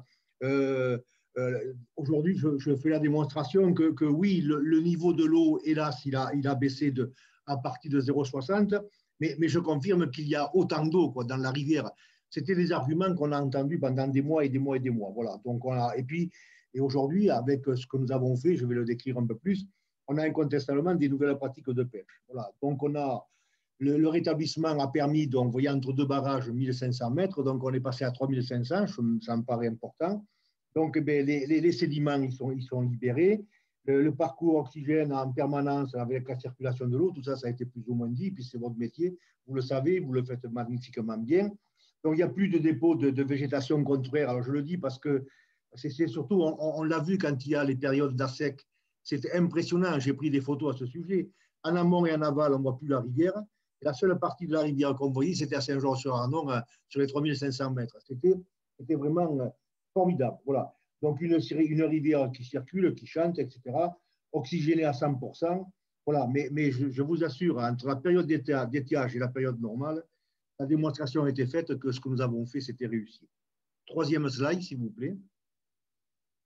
Voilà, alors là, c'est pour un peu, je ne sais pas s'il y a beaucoup d'élus, quoi, mais, voilà, il faut, je pense qu'il faut aller, enfin, en tout cas, ça entraîne toujours donc, des, situations où on, où on, dépasse les objectifs de la directive cadre sur l'eau. Donc là, mettre les ouvrages en conformité réglementaire, ben, écoutez, tout le monde le sait, c'est compréhensible. Les ouvrages d'art, effacement, arrasement, obstacle, ça a été développé, et puis vous verrez tout à l'heure, il y a un petit film.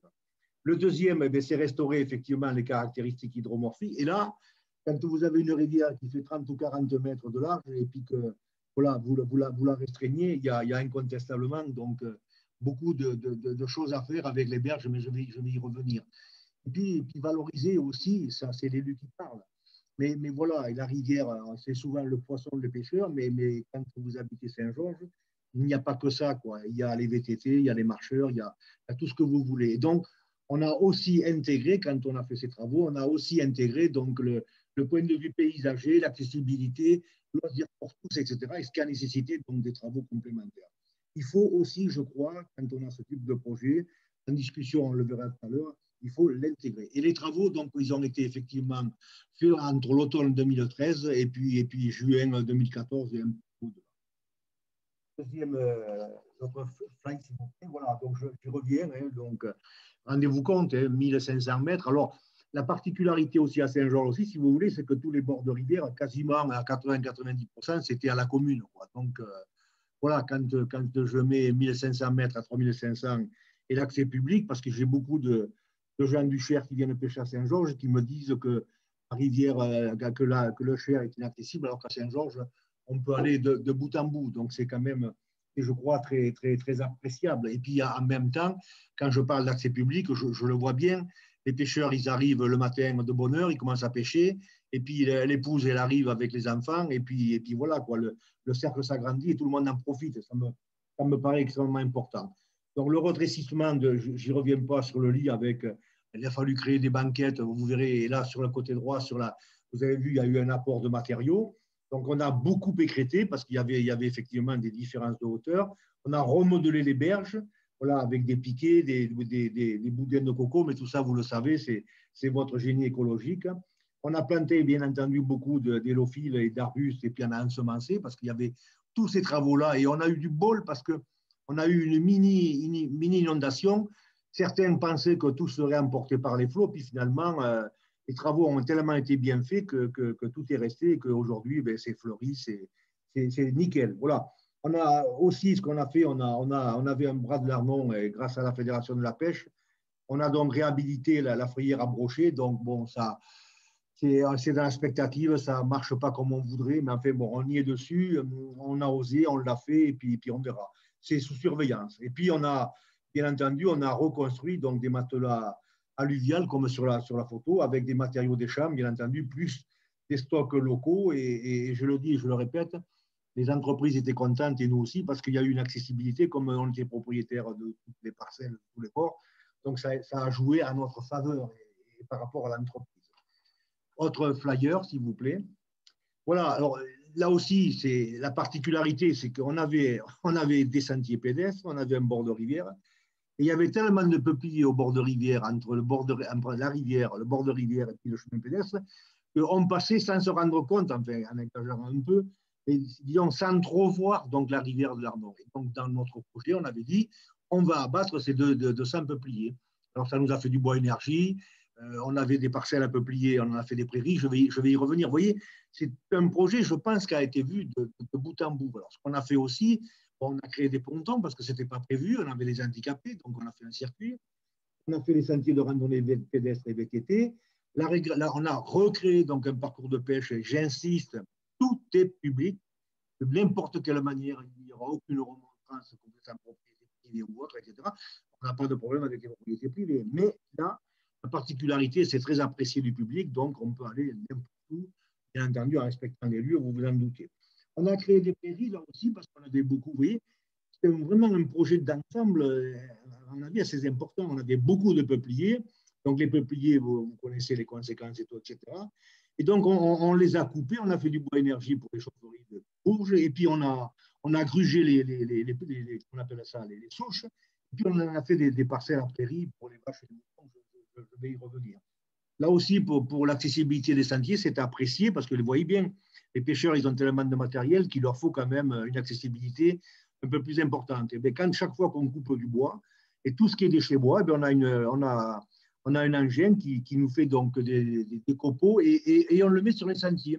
Ce qui fait que quand vous venez avec votre voiture pour vous garer pour aller pêcher, c'est toujours propre. Il n'y a pas de risque d'embourbement, mais c'est aussi apprécié. On a fait aussi des installations de, de tables, bancs, poubelles. Je le dis parce que ce n'était pas prévu. Et puis, le dernier des choses qu'on avait prévu, c'est pas dedans. Et on a mis aussi deux WC toilettes euh, sèches. Donc, ça aussi, c'est quand même assez, assez important, assez apprécié.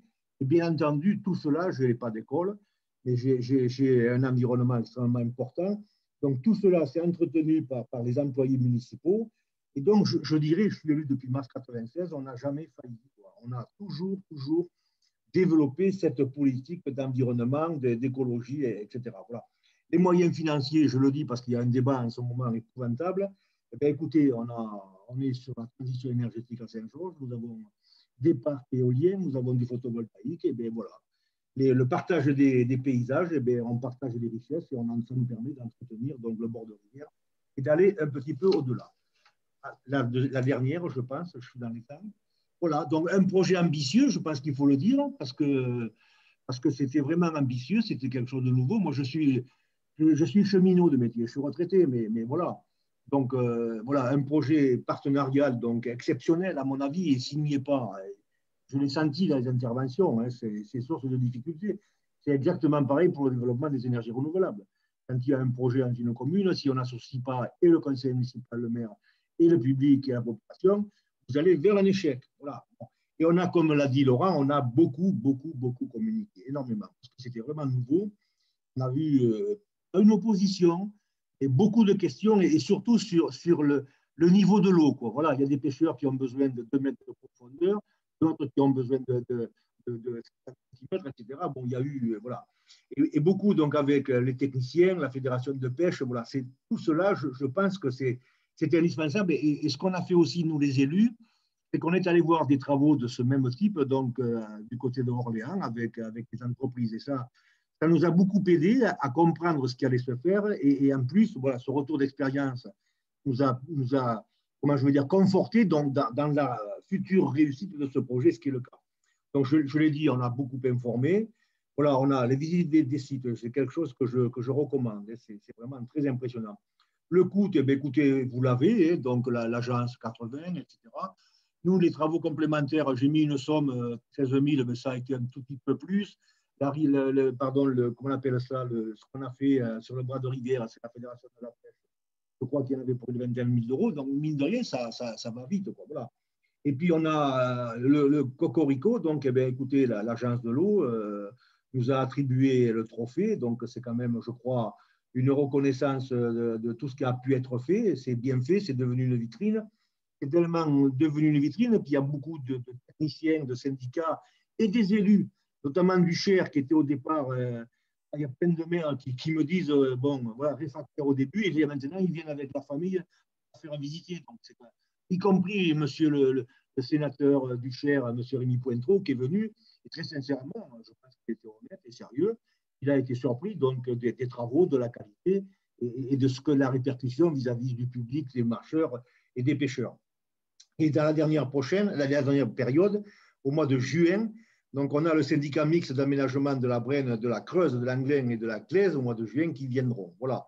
Et puis, on a, bien entendu, on a les journées rivières. Et puis, on a aussi, comme on a Natura 2000, euh, que j'en suis le président un peu à côté et que j'ai le conservatoire d'espace naturel, on a donc beaucoup de, visites bien sûr, sur tout ce que vous pouvez savoir, les papillons, les, les abeilles et tout, etc. Voilà. Et puis, on, a donc préparé, parce qu'on continue, hein, et, je pense que dans le futur contrat territorial de rivière 2021-2026, on aura donc euh, un troisième barrage donc, que nous avons avec deux clapets. On fera une échancrure, nous allons faire donc une rampe banquise euh, au lit de rivière. Nous avons un moulin avec un bief qui est privé. Nous avons donc, et, et puis, nous avons un problème, enfin un problème, on a résolu techniquement et alimentation donc de deux étangs avec euh, autour des étangs 33 chalets. Donc vous voyez, il y a, là, voilà, il y a un débat qui est en train de s'instaurer, des inquiétudes, mais on a, compte tenu de cette expérience, on, a quand même, je crois, on, a quelques réponses. Voilà. Et puis, euh, et puis, et puis voilà, voilà ce qu'on a fait. Et je pense après, Laurent, qu'il y a un petit film de quelques minutes qui, je pense, résume parfaitement euh, tout ce que je viens de dire. M. Pallas, merci beaucoup pour cette présentation. Effectivement, beaucoup de.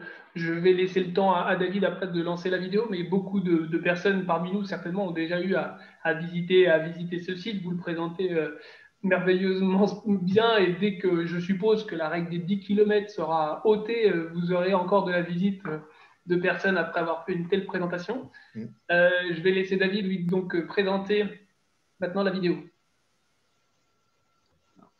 quelques, quelques petites secondes juste pour que vous ayez optimisé le, la qualité du son pour que vous puissiez suivre parfaitement cette, ce petit film.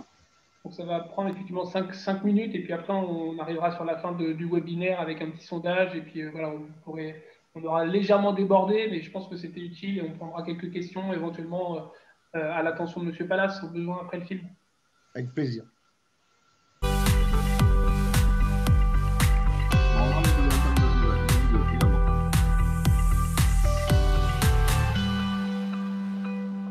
Ici, on est sur la, sur la rivière Arnon, qui, euh, qui présente une densité d'ouvrage assez, assez conséquente hein, sur son linéaire. On a, on a un barrage tous les 2 km en moyenne. Donc c'est la présence de ces ouvrages qui, qui va déclasser en fait la, la qualité du cours d'eau. La directive cadre sur l'eau, pour le bon état écologique de l'eau, recommandée d'enlever le barrage, de faire une échancrure, de façon à ce que les poissons puissent remonter aval amont et que les sédiments circulent librement ce qui contribue au bon état écologique de l'eau, donc des poissons, donc de la clarté, pour le bonheur des pêcheurs, des marcheurs, des vététistes. L'enjeu, c'était de répondre aux exigences de, la loi sur l'eau, notamment par le rétablissement de la continuité écologique.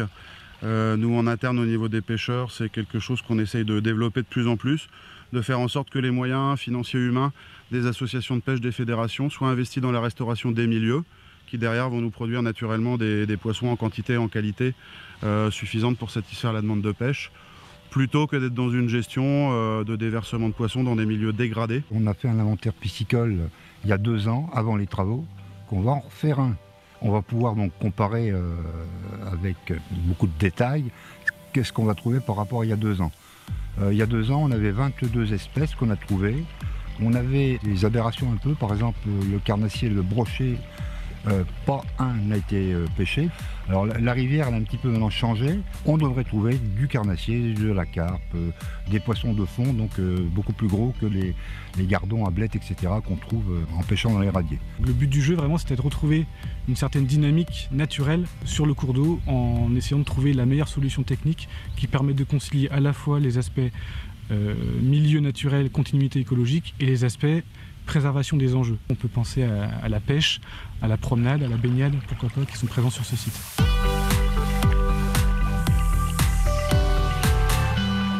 L'adhésion, c'est un, élément nécessaire mais pas suffisant.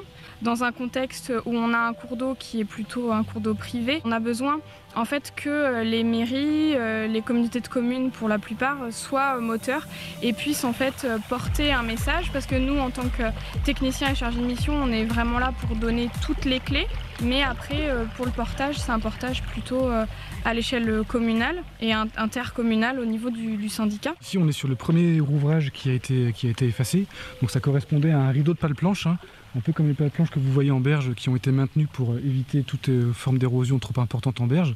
Donc ce rideau de pales planches barrait le lit mineur dans toute sa largeur et donc créer un effet plan d'eau euh, sur, la partie amont du cours d'eau. Il faut, imaginer une rivière qui faisait une, quarantaine, 50 mètres de large avec euh, une eau très stagnante, très sensible au réchauffement en période estivale, avec un envasement également très important qui, euh, limitait considérablement la, biodiversité des habitats et des écoulements, donc très peu propice à la biodiversité euh, inféodée au milieu aquatique. Souvent quand on veut faire ne, serait-ce qu'une brèche, voire enlever complètement euh, un barrage quand c'est possible, la grosse crainte c'est qu'il n'y ait plus d'eau en fait. La plupart des gens disent bah il y aura plus d'eau. Nous le travail des fédérations c'est de faire la promotion auprès des associations de pêche et des, même des pêcheurs lambda quand on a l'occasion de ce type de travaux, de restauration, de réhabilitation des rivières. Une bonne part des pêcheurs, tant qu'ils n'ont pas vu, je dirais, physiquement ce qui se passe sur un, un, chantier comme ici, où on retrouve une jolie rivière courante qui est tout à fait pêchable, la peur c'est effectivement de ne plus avoir d'eau, donc de ne plus pouvoir pratiquer aussi euh, leurs loisirs.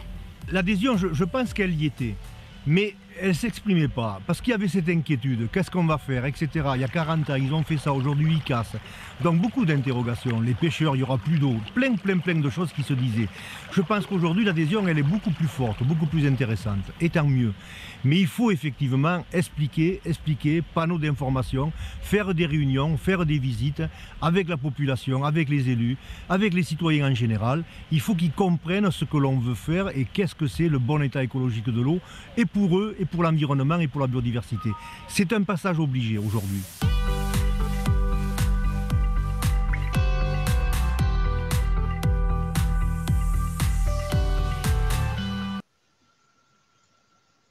Merci David. Donc effectivement, une petite vidéo qui illustre assez bien en fait les propos précédemment tenus par, par Monsieur Pallas. Est-ce qu'il y a des questions éventuellement de, oui, Une demande d'intervention de la part d'Isabelle Parot de la Fédération de pêche. Très bien. Madame Parot, le micro est à vous. Oui, bonjour à tous, euh, bonjour à toutes, je n'ai pas salué. Bon, je tenais complètement à féliciter euh, Monsieur le maire pour des propos. Euh, déjà, je trouve qu'il est extrêmement convaincant et j'espère que ces propos trouveront écho auprès d'autres élus dans d'autres départements. Et rien que pour cela, je tenais à le féliciter. Un projet qui est vraiment d'ampleur avec un témoignage marquant. Euh, je voulais savoir si effectivement vous aviez, alors bien évidemment, vous recevez des élus. Je vais faire écho aussi auprès de, Loire-et-Cher pour vous envoyer certains élus. Euh, je pense que effectivement le fait que ce soit vous localement qui puissiez euh, développer votre projet, ça permet également d'avoir euh, plus de poids que si c'est que des, effectivement des techniciens scientifiques et autres, ça vous apporte quand même de la crédibilité et toute la légitimité sur votre, sur votre territoire. Et je pense que les élus en sont également tout à fait preneurs et, et satisfaits. Est-ce que vous avez développé, ma question, c'était des petites plaquettes d'information sur le terrain également, des petits projets avec des panneaux d'information divers et variés qui permettent à l'ensemble du public de pouvoir s'approprier entièrement ce, projet, puisque j'ai l'impression qu'il va bien au-delà de la simple continuité euh, écologique, mais c'est vraiment un projet global. Et je trouve ça fortement intéressant, notamment par rapport effectivement aussi aux jeunes publics qui peuvent venir sur le, sur le site pour euh, comprendre un fonctionnement d'un milieu aquatique notamment. Voilà. Merci pour vos propos et vos encouragements. Je les ai tellement entendus qu'on va s'attaquer au troisième barrage. Donc oui, oui, oui, effectivement, oui, oui, on a fait la plaquette, on a fait, on a fait des panneaux en salle et sur le bord de rivière. Et par rapport au film, j'attire votre attention, c'est sur la rapidité, la rapidité et la surprise que nous avons eue. Donc c'est sur la réhabilitation. Euh, du, par exemple, vous avez vu dans le film des petites banquettes, je peux vous dire qu'elles sont, elles sont complètement végétalisées. Donc c'est en, même pas un an ou deux, au départ, un chantier vraiment, on aurait dit la guerre 14-18, on a enlevé 200 peupliers. Donc c'était quand même spectaculaire. En même pas deux ans, tout est rentré pratiquement dans l'ordre avec une végétalisation, une. Voilà. Donc euh, oui, oui, on, est prêt à recevoir tout le monde, mais vous l'avez senti, vous l'avez exprimé, beaucoup de communication et il faut que les élus s'impliquent. C'est eux, c'est sur leur territoire, ça leur appartient ou pas. Ils ont des propriétaires, ils ont des riverains il faut engager cette démarche. J'en termine, c'est un passage obligé. Et donc, il faut le faire proprement, correctement, et avec l'ensemble des, des, acteurs. Merci beaucoup. Euh, ma question aussi, c'était effectivement de, de, se dire, euh, euh, est-ce que vous avez bien, je comprends euh, beaucoup d'élus et de propriétaires riverains aussi on, sont d'une extrême frilosité quant à des travaux d'ampleur, notamment, bah, c'est comme vous dites, hein, c'est un chamboulement important. On l'a bien vu sur les travaux aussi, euh, bon, d'ampleur euh, vraiment important sur, sur le barrage, sur le Cher à Savonnière.